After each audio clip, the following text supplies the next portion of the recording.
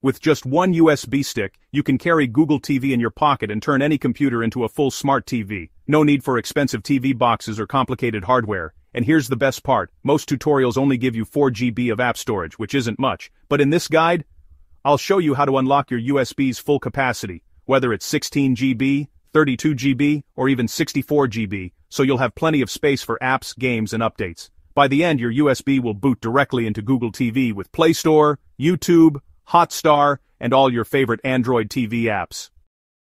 Step 1. Download the Google TV ISO file from the Google Drive link in the description. After downloading, extract the file using WinRAR or 7-zip. You'll get two items, the Google TV.iso file and a folder named Storages with pre-built storage files, 4GB, 8GB, 16GB, 32GB, and 64GB.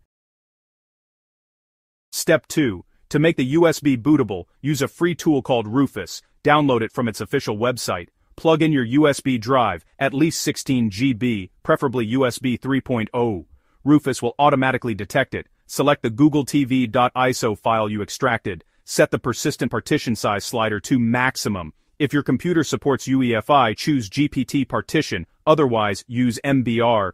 Keep file system as FAT32 and click Start. This will erase your USB and write Google TV to it. Wait about 5 to 10 minutes. When done, your USB will now boot Google TV, but initially, it'll only have 3.4 GB of usable space.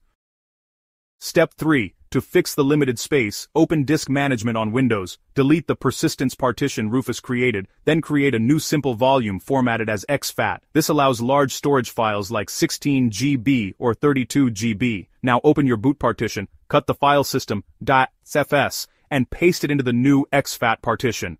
Next, go to the storages folder you extracted earlier. Pick a storage file size that matches half your USB size. For example, if your USB is 64 GB, pick the 32 GB file.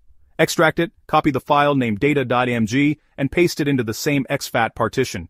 That's it. Your USB now has a large storage partition ready for apps and updates.